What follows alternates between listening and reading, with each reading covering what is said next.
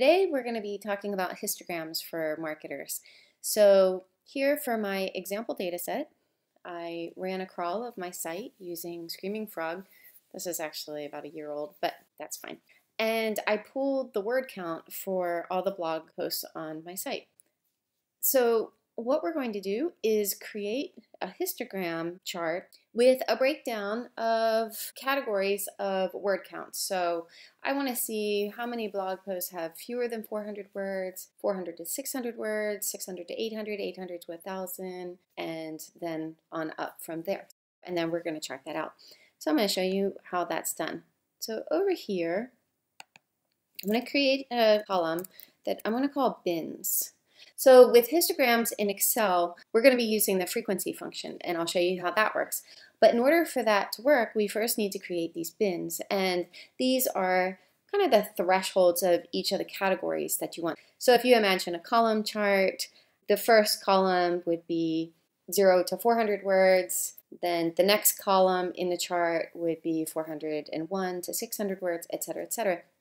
But first we have to tell Excel what those bins are going to be. Then we're going to use the frequency function to see how many posts fall into each of those bins. So without further ado, let's get started with that. So the top range of our first bin, I'll just set to 400, then I'll say 600, then 800, that, whoops, 1,000, and then I'm just going to set mine to 3,000 and 5,000 and 12,000. And to make this easier, I just sorted this whole table. Actually, I'll right click in here and choose sort smallest to largest. And so I could quickly scan and see what would be good uh, breakpoints for each of those. So you can see I have quite a few that fall into the thousand range. And then I just have a few outliers. So I don't need to be as precise for the bins. Like I don't need a bin for 5,000, then one for 7,000, 9,000, etc. So I can kind of create bigger bins. So that's why I went with 1,000, 3,000, 5,000, and 12,000. So next, over here, we're going to call this frequency. And the first thing we're going to do is select these cells here. And these are the cells that we're going to populate with the frequency function. So with all of those cells selected, I'm just going to type equal, start to type frequency. And the first thing Excel wants to know is what the data array is. So that's this column of word counts here. So now keep in mind, we're taking this table that has individual line items of each of my blog posts, we're saying I don't care about the individual blog posts themselves. I just want to know the groupings for a word count. So the easiest way to select this is to just click the first cell and then press Command Shift down arrow, Control Shift down arrow if you're on a PC. type a comma, and now it wants to know our bins array and we selected that here. So I'm just going to click and drag over that. But now you can't just press enter or return. Because it's an array function, you have to press Command Shift Return or Control Shift Enter on the PC. And there we go. So for blog posts with 0 to 400 words, I have 11. 401 to 600 words, I have 19, etc., etc.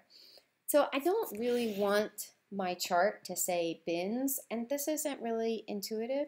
So over here, I can call this anything, this isn't going to actually show up in the chart. I'll just call it labels, and I'll say 0 to 400,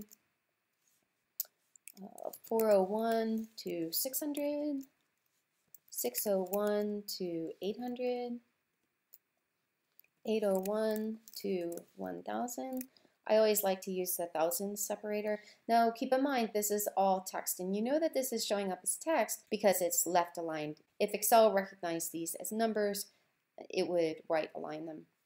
So then we're going to say 1001 to 3000, 3001 to 5000, and finally 5001 to 10 thousand. And now all we have to do is chart it. So to chart it, I'm going to select this column here, hold down the Command or Control key on a PC and select this column because we don't need that bins column. And with those selected, I'm just going to go to Insert and then choose this chart here, the column chart. And there we go. Now I would just customize this to fit my branding. So I might change the color. I go in here, change the color. This is actually my Annielytics orange. Get these grid lines here and either remove them all together by deleting them or you could make them a much lighter color.